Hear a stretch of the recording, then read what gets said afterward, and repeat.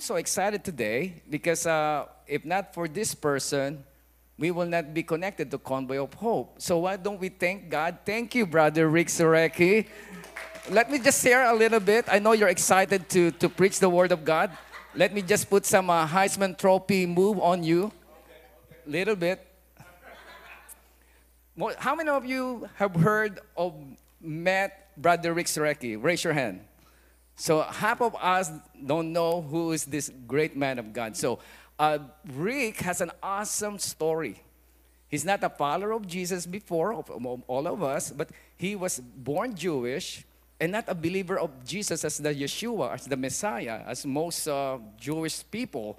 There was one Jewish girl yesterday wearing the Russell, uh, Russell Wilson jersey with the, the service dog. Said she's Jewish, but I don't believe that Jesus is the Messiah. And they have a very interesting conversation. So, and, and to make the long story short, he, he became a believer of Jesus because of his father-in-law who went to be with Jesus, who loved him to Jesus Christ. And now he's a man of God traveling all over the world, bringing hope and the love of Jesus through Convoy of Hope. Charisma, it is my honor and privilege to introduce to us brother, pastor, my friend, our friend, Rick Zorehkey. Come on, stand up on your feet. Charisma, come on, stand up on your feet and honor the man of God. Thank you, brother. Thank you. Yes, my father in law, but let's not forget my wife also. Amen. Wow. Uh, Wow, what a testimony from yesterday. The why we do what we do. We had the how and the why working yesterday. The how, services, serving others, groceries, inviting them. But the why, to move people compassionately towards Christ. Uh, it's just amazing. I also want to say thanks for the music. Wow. The worship here is outstanding. And uh, I know I know my heart's open, you know, but right?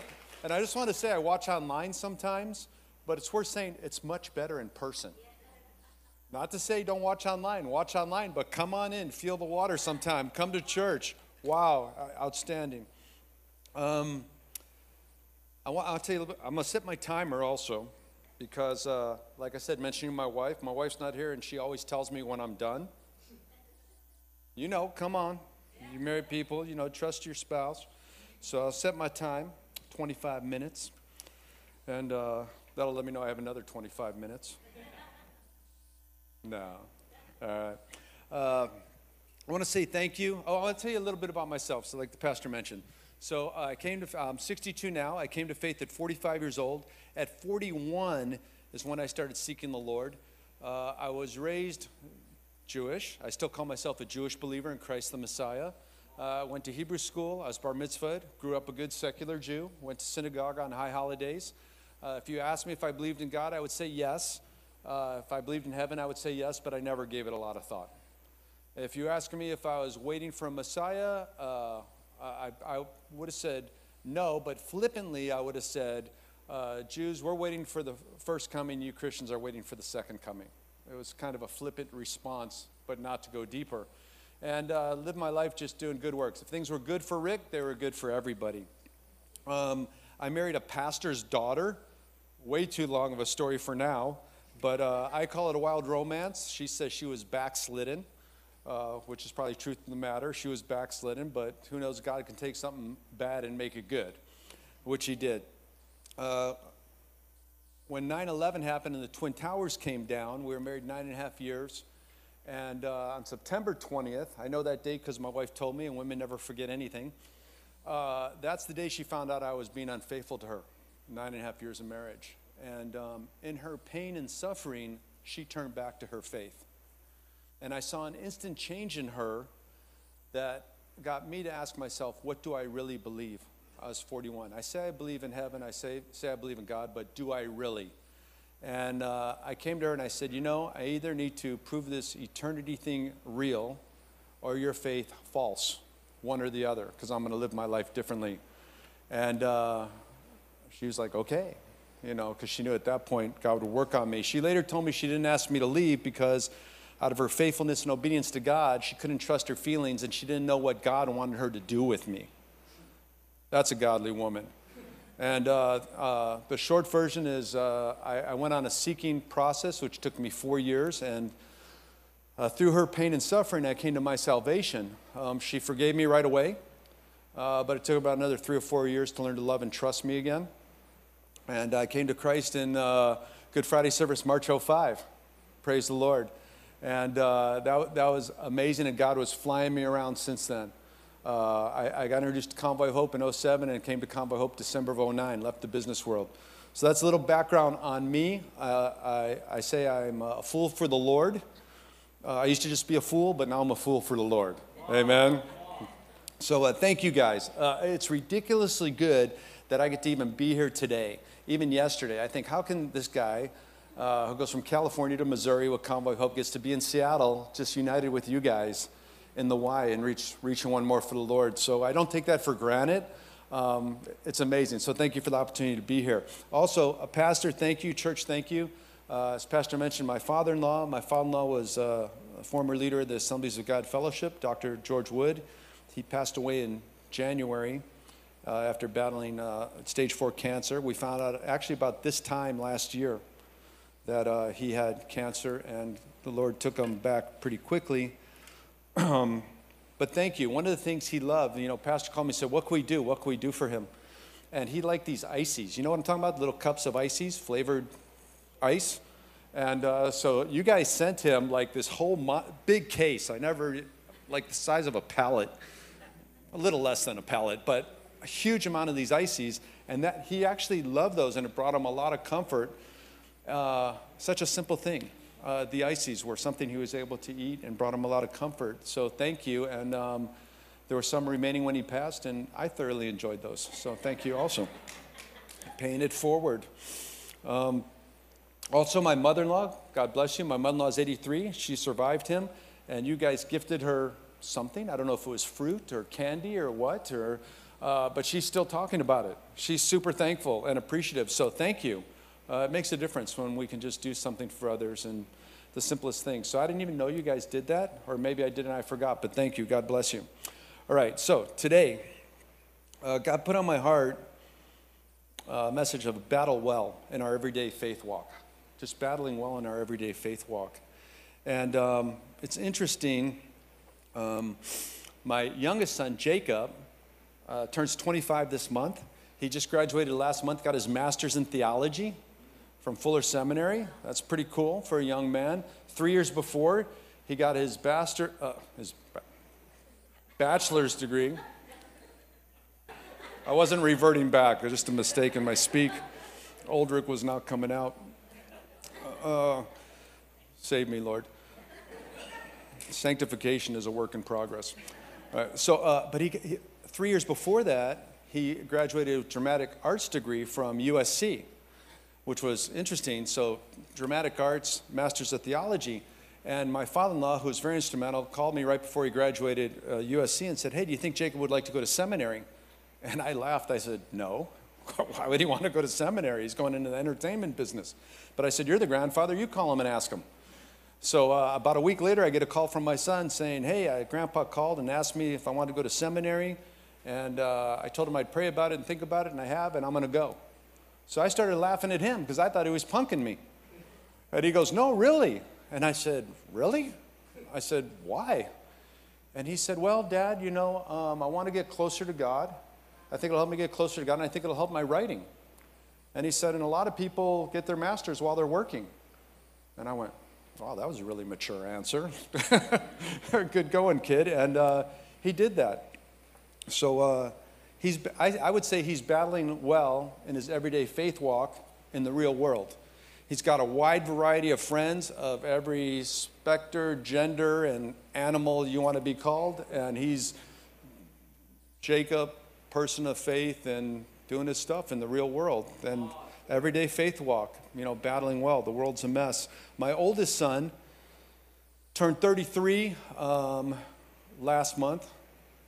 Uh, actually, Jacob's 25 this month, the other son's 33 last month.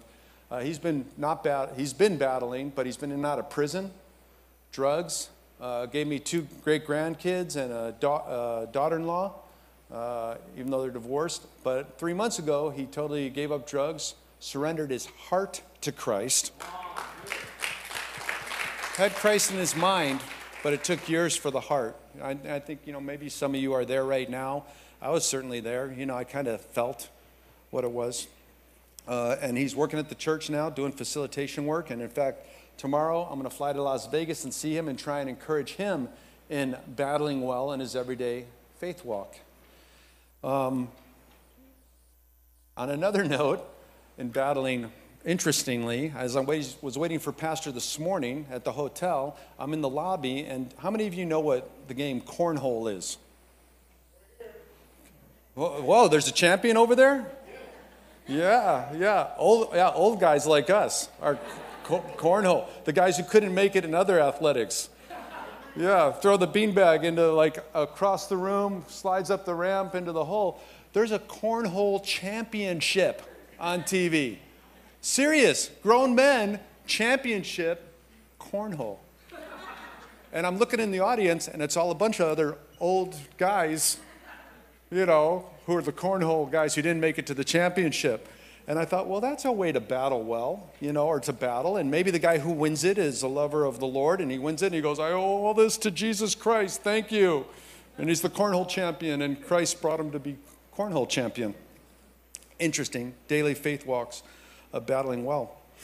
Um, and I'm here with you, battling well. I get to just show up and also traveling, you know, you know, who you see, who you meet, what God might put in front of us this afternoon. So, three things, ways to battle well in Jesus. This is not all inclusive. There's many, many ways to battle well with Christ. In fact, as I was in scripture reading about battling well, almost every scripture I read had to do with battling well. And I challenge you, if that's not true, uh, go home and start reading your Bible and see if it doesn't speak into your life on how to walk well, battle well, and relate well. So I just want to deal with three points. First point know your enemy. Know your enemy. Our, battle, our battles are with the principalities of darkness, not with our spouse, not with our kids, not with our boss, not with the teachers, not with the shopping center person. There's literally good and evil in the world, and it's principalities of darkness. Now, I know some of you, people, we could rub each other the wrong way. It's not the same as battling the principalities of darkness. So, know your enemy. Second, be prepared. The Bible says, like a thief come in the night, we will never know the hour. Also, there's great scripture in Ephesians 6 10 through 18 about putting on the armor of God. You can read that yourself. Pastor, I think I caught a message of yours a couple weeks ago that talked about being in pouring condition to be able to be poured out. Well, if you're going to be poured out, you actually have to be filled with something to be able to pour out. Otherwise, you're just keep receiving. So, how are we prepared to be in pouring condition to pour out? Be prepared. And third, know the battle's won. This is pretty cool. The, the Bible tells us in Revelation, God's already won the good fight. The battle's won. So, therefore, death is beaten, we have eternity in heaven, kind of takes the pressure off. If we can go, hey, the battle, the, the war's won, we need to show up and decide are we willing and available to be present now and wherever He has us? Whatever it is, the simplest things, the big things, and we don't even have to win the war because it's already won for us. So know your enemy, be prepared, know the battle is won. So I want to share a little bit about why and how, even though we actually lived it out. Um, this weekend, yesterday, which is amazing. Ephesians 6 12 says this For our struggle is not against flesh and blood, but against the rulers, against the authorities, against the powers of this dark world, and against the spiritual forces of evil in the heavenly realms. Therefore, this, we need to know this and just simply fight through it. Also, the Bible says, Count it all joy. In James 1 2 through 4, it says, Count it all joy, my brothers when you meet trials of various kinds, for you know that the testing of your faith produces steadfastness, and the steadfastness has its full effect that you may be perfect and complete, lacking in nothing. Well, I want to tell you, um, I kind of had a hard time with this. You know, I still have a hard time with it uh, to comprehend. How, can I find joy in everything? Uh, when I first came to Convoy of Hope, in December of 09. I started a month before the Haiti earthquake. That was horrific. Over 300,000 people killed pretty instantly in the earthquake. I left the business world to go into the faith-based humanitarian world. Uh, my family are mostly still non-believing Jews, but their hearts are softening dramatically. And I remember my father called me a couple weeks into the uh, Haiti crisis. And as I'm telling him everything that's going on, he asked me, Am I happy? And I thought, wow, what a strange question. You know, t- people are dying here, and you're asking, Am I happy? But as a father, what he was really wondering, did I make the right decision? Leaving the business world to go do this, and I'm I happy in my des- decision. And I stopped for a moment and I realized I'm not happy. I'm overjoyed. I was experiencing joy in the sorrow for the first time. I was overjoyed. The, the understanding of joy is much greater than happiness. I mean, if we're just seeking happiness, uh, you know, we get that happy little high and then we're on to the next happy little thing. But none of it's sustaining. Joy is sustaining, joy is deep. Joy is, you cannot have everything go right and still be joyful for what we have. And it's so much more meaningful. And until it's experienced, and I only say this because some of you here, maybe you haven't experienced that yet. I mean, I, am telling you a story that I experienced at 47 years old. I don't think I understood joy till then, or at least started to understand it. And then my first year and a half at Convoy of Hope, I was seeing so much pain and suffering. I feel like I maybe suffered from depression for the first time, or at least an awareness that I wasn't aware before because I couldn't even share it with a lot of people. It was so horrific and heavy on my heart. And when you allow yourself to have a compassionate heart, you're going to suffer a little bit in that. But it doesn't have to be unhappiness. Compassion literally means suffer with. That's a good pain to have that we don't often afford ourselves or are taught today. So I now strive for joy than happiness. And I remember when I was going through the uh, phase of not understanding, I was, uh, uh, I was reading the Bible. I found every scripture on poor and suffering. And there's a lot of scriptures on poor and suffering in the Bible. And I was overwhelmed with the understanding that the poor and suffering are going to be with us always. And I was heavy. And my brother, and one of my brothers in Phoenix, I was telling him this. He said, Yes. He said, The poor and suffering will be with us always, but it doesn't mean they have to go hungry. And I went, Wow, you're right. I'll start battling there. Take care of their hunger. But I'll tell you, even with Convoy of Hope, when we're taking care of the hunger like you did yesterday, that's help. But hope comes through the church. So we always try and partner through the local church and the community. So where we give help, we want to instill hope because hope is sustaining. And that's what changes people's lives. That's what changed my wife. Changed my wife, changed my life. Changed my wife too, probably having hope. So, why do we battle well? Why, do, why should we battle? It's simply to move people more compassionately towards Christ. Some of you are here and maybe you have uh, an idea, maybe you're not in a relationship with Christ yet, you have kind of an understanding. And I'll just tell you the prayer, when I was a non believer, I had people pray for me. I never found prayer offensive. It never bothered me when people wanted to pray with me. With me was better than for me. I'm going to pray for you. That wasn't always good, you know. But uh, you're in our prayers was much more loving than I'm praying for you. Just saying. I didn't understand it, but it wasn't offensive. And now I look back and I remember, I would tell you, I would challenge, I think I remember everyone who prayed for me and everyone who gave me opportunity to partner and experience.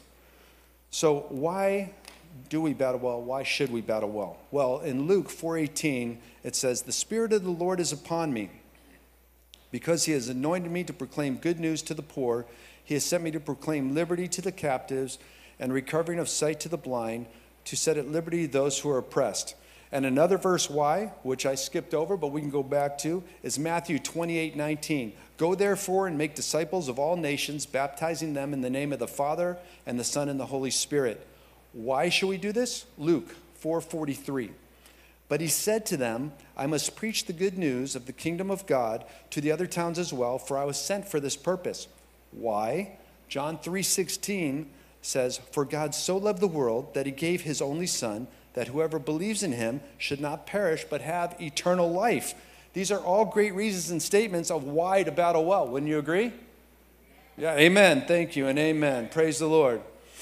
So I remember when uh, I was Hal Donaldson, the founder of Convoy of Hope, was looking for me to come work for Convoy of Hope or mentioning for me to pray about it. And he really wanted me to help create awareness outside the church world, the corporate world. What he wanted me to do is raise funds in the corporate world. I did not want to raise funds in the corporate world. I wanted to sweep the warehouse or serve some other way. I didn't understand what he was asking.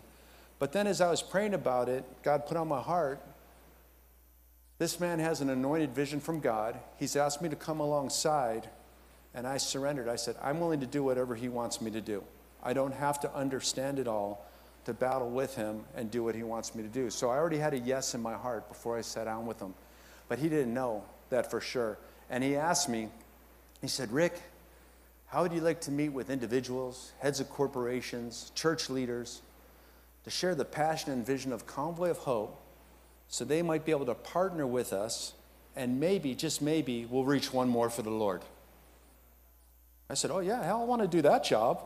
Yeah, that's the job I want to do. It has nothing to do about fundraising.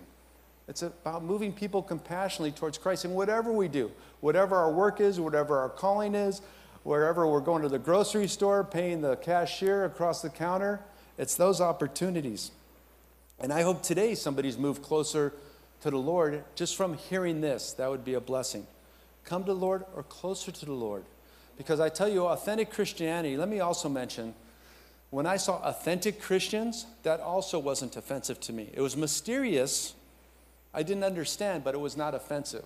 I was offended by the, the fakers, the posers, the same ones we're all offended by. Yes, we all find that offensive.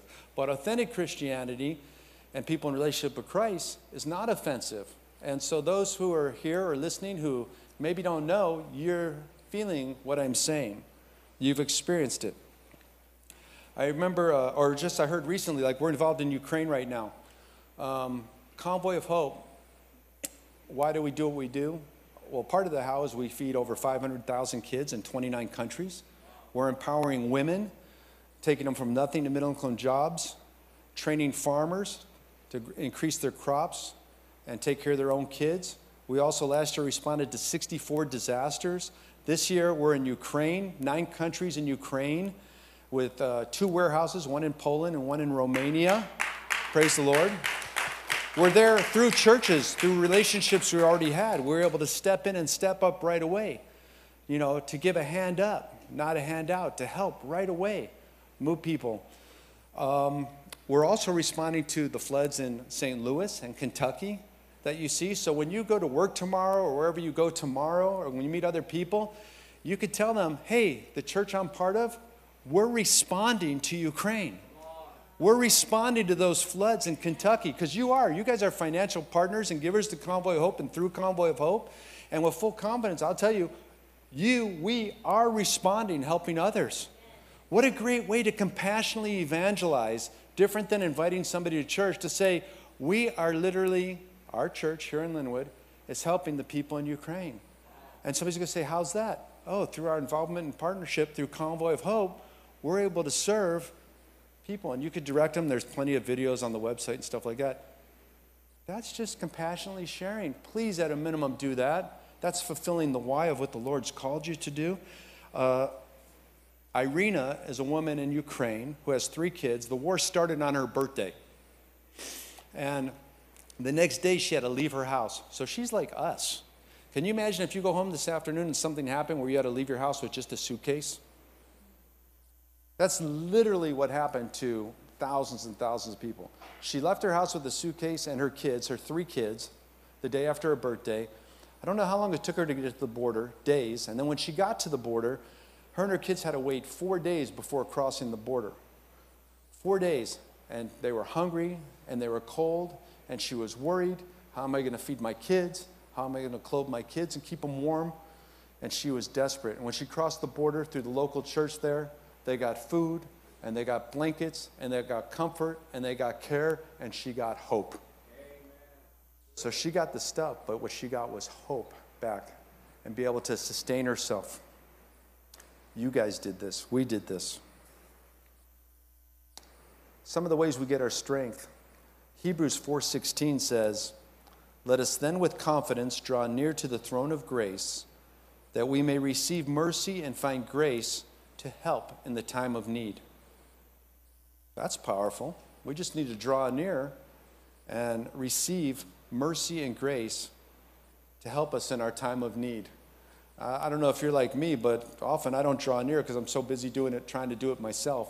And then at some point I draw near and I get the blessing of the Lord. And as you get older, maybe me, I say you, as I get older and get more spiritually stronger, I remember and I'm like, oh yeah, I should go do that. So then I'm not in the world as much or as long as I intended to, and I go to the Lord. And when to battle well? It says we're supposed to battle well, always, battle well always. Always. And that could be exhausting, but the Revelation tells us how, it, how to end. The battle is already won on our behalf. So the question you really have is are you willing and available to fight the battles where you're at?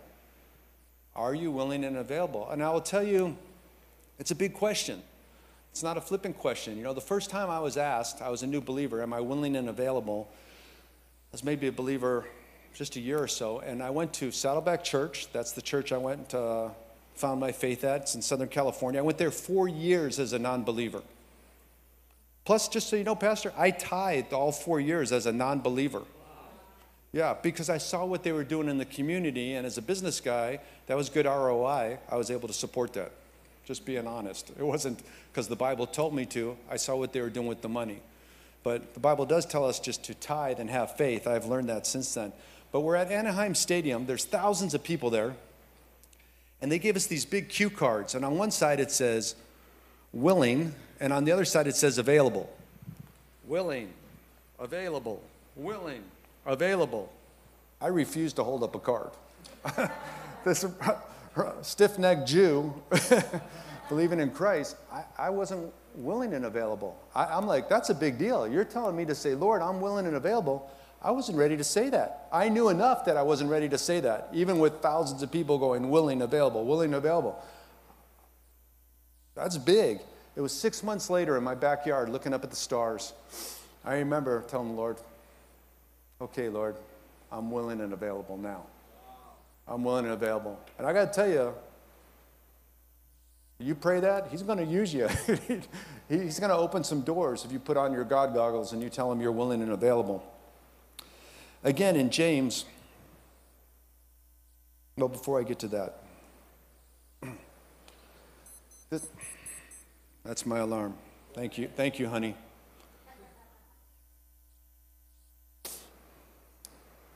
This world is messed up, folks. We know it. We can't ignore the pain and suffering, nor should we, but we can't live in that heartache all the time either. The question is, for me, and I think for you, is how do we, do, in our everyday faith walk, battle well and live through this to the promise that's God made to eternity? So, how do we find joy in the suffering? Let me just say again in James 1 2 through 4, it says, Count it all joy, my brothers, when you meet trials of various kinds. For you know that the testing of your faith produces steadfastness, and the steadfastness has its full effect that you may be perfect and complete, lacking in nothing. Whew. Okay. That, that's a faith statement, too. I remember my father in law, before he passed, um, I asked him one time, and I don't even know what crisis it was because we have so many crises, right? I mean, we're in the Ukraine crisis now. But it was a few crises ago, and I was overwhelmed with things of the world. I was like, wow, it's terrible. And I said, Dad, I said, um, are we in the end times? And he looked at me and said, We're definitely in your end times. And I was like, oh, thank you, Mr. Theologian. I was looking for something a little more. But, you know, th- but when I thought about it, he's absolutely right. I don't know if we're in the end times, but we're certainly in your end times and my end times. So I don't have to spend that much time personally in the end times. I need to focus on my end times and what has the Lord called me to do and us to do now in our end times. Amen? So that's what we are. we willing and available? Um, my father in law, I was at his bedside in January. So, um, like I said, I was married to my wife nine and a half years before I even started seeking the Lord. So here's this man of God. His daughter marries this reluctant, rebellious Jew who's been married twice before with two kids from a previous marriage that doesn't believe in Jesus. Tell me, every leader has issues, right? It's no one's immune. No one's immune. You know, your leader here, you know, I'm, I, am, uh, I have a men's group that I'm part of, my church. Uh, before I tell you what my father in law said, my wife and I, uh, 30 years, I just want to be real with you. 30 years, oh, you know, we go through a couple seasons, a couple times a year of miscommunication.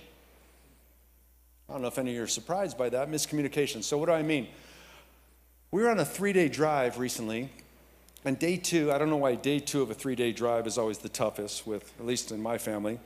And uh, we're like two hours into this eight hour drive, and we have this conversation where we're like stuck in a washing machine. You ever get in this conversation where I say one thing and she repeats what I say, and it's exactly not what I said. And I tell her that's not what I said, but she tells me that is what I said.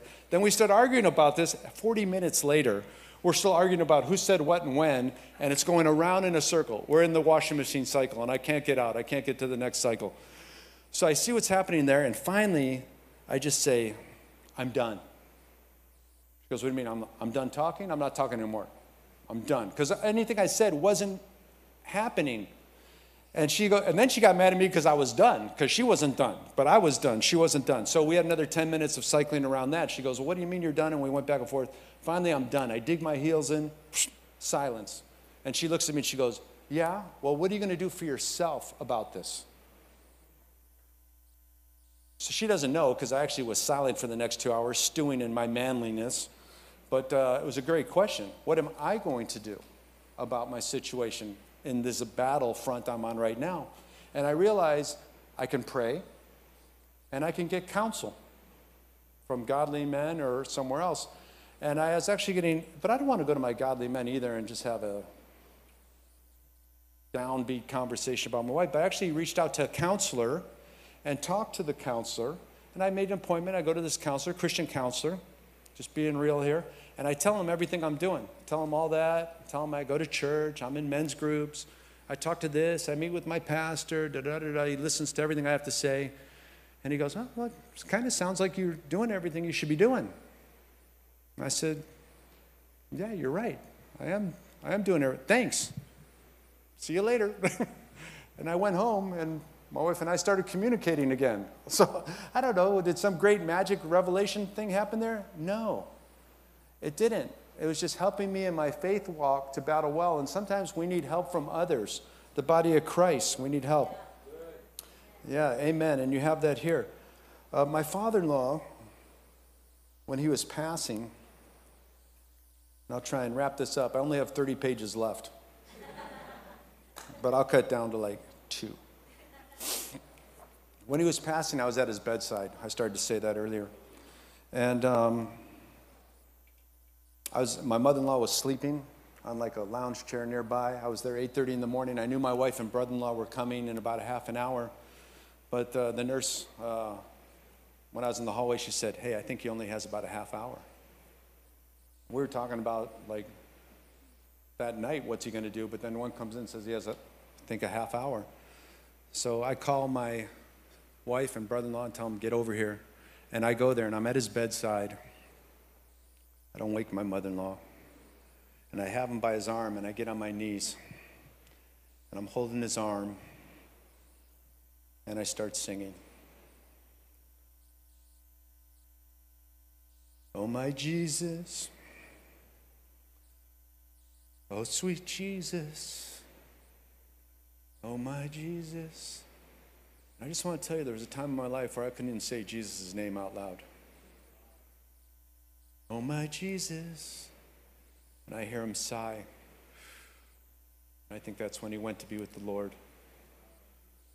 And I sat there and I thought, I believe because what this man and others have allowed me to experience.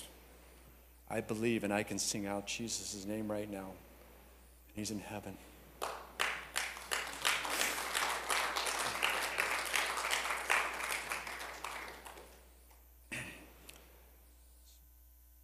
Don't believe because of what I read. I don't believe because of what I've seen. I believe because of what people have afforded me to experience. And yesterday, we afforded people an opportunity to experience Christ through the drive through and prayer, whether they got prayer or not. They, they felt you. I, I believe it was felt. The community feels that. Even we don't have to understand things we feel. You know, we, we want to grow to it. So I'm thankful for that. So my hope for you guys is to be moved compassionately closer to Christ. Pray. If you're available, are you willing? Just to be poured into so you can be poured out of. In John 3:16 it says again, "For God so loved the world that he gave his only begotten son, that whoever believes in him shall not perish but have eternal life." Thank you, Lord. And then the battle already being won, how do we fight well together? Unity in Christ. And I don't want to forget this because this is your church. Philippians 2 1 through 5 states, Therefore, if there is any encouragement in Christ, if there is any consolation of love, if there is any fellowship of the Spirit, if any affection and compassion, make my joy complete by being of the same mind, maintaining the same love, united in spirit, intent on one purpose. Do nothing from self- selfishness or empty conceit, but with humility of mind, regard one another as more important than yourselves. Do not merely look out for your own personal interests, but also for the interest of others. Have this attitude in yourselves, which was also in Christ Jesus. Amen. This is the Charisma family unity in Christ. And for those of you who maybe haven't accepted Christ yet, or don't know, or need a refresher, unity of the body is important. And for those of you online, uh, yes, unity, but I also want to caution, because I can get comfortable too, too comfortable watching online sometimes, and maybe you have to watch online. Please don't misunderstand what I'm saying. But it's kind of like watching a nice swimming pool, and if you come to church, it's kind of getting in the swimming pool. So um, don't do that. You need that. We all need that. Uh, so let me end with this. let me go to the last page and end with this. Our win is beating death and eternity in heaven. Therefore, we could have great confidence. In 2 Timothy, it says, I fought the good fight, I finished the race, I have kept the faith. I know, like my father in law is right now in heaven waiting to greet me. I have full confidence, full confidence in that. And that's amazing. When it's all said and done, why are we battling at all? This is very simple and completely to spend eternity heaven with our Lord Jesus Christ. That's it. This is this isn't it. That's it. It's simple. Not always easy, but it's simple. In your everyday faith walk, all this stuff is going on, but simply love Christ and share with others. We can do this. You can do this. And also the union of Christ. If you're like me, I don't want to be overwhelmed with things of the world. But I don't want to ignore it either because I'm afraid if I ignore it, because it could hurt sometimes. You know, when we see the pain and this and that, sometimes we want to just not participate. That's a good pain. That's compassion. That's suffering with.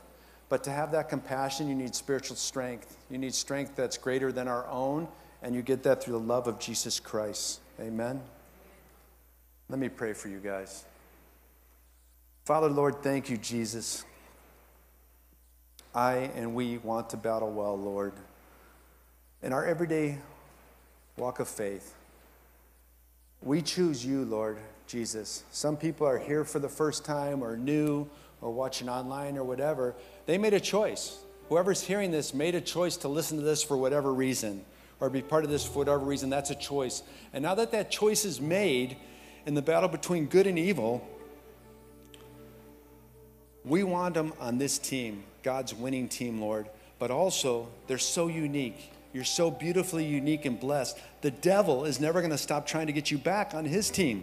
Therefore, you're going to have battles. It's not easy street, life at the beach. It's battles, but find joy in the suffering and battle well. Lord, I pray that we're willing and available. And today, Lord, as we go out, whatever you have even today, Lord, let us have our God goggles on.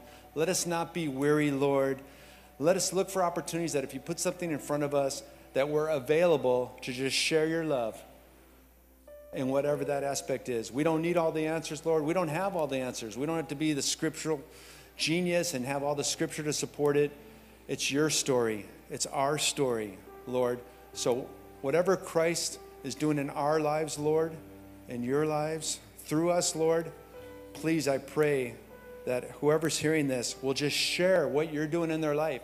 It's that simple, Lord. We love you and we love others, and whether we understand or not, we just want to share what's happening in our life, Lord. The good, the bad, the real, but the why is because of you, Lord, and the how is just all the process, but the why is because of you, Lord, to move one more closer to you so we could spend eternity in heaven with you. Be with us today. In your Son, Jesus Christ's name, I pray. Amen.